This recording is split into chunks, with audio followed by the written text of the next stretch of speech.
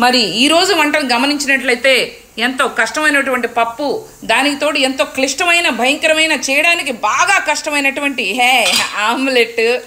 దీన్ని ఒక్కసారి గమనించినట్లయితే బాగా ఎర్రగా వేగింది. దీన్ని నేను మాత్రం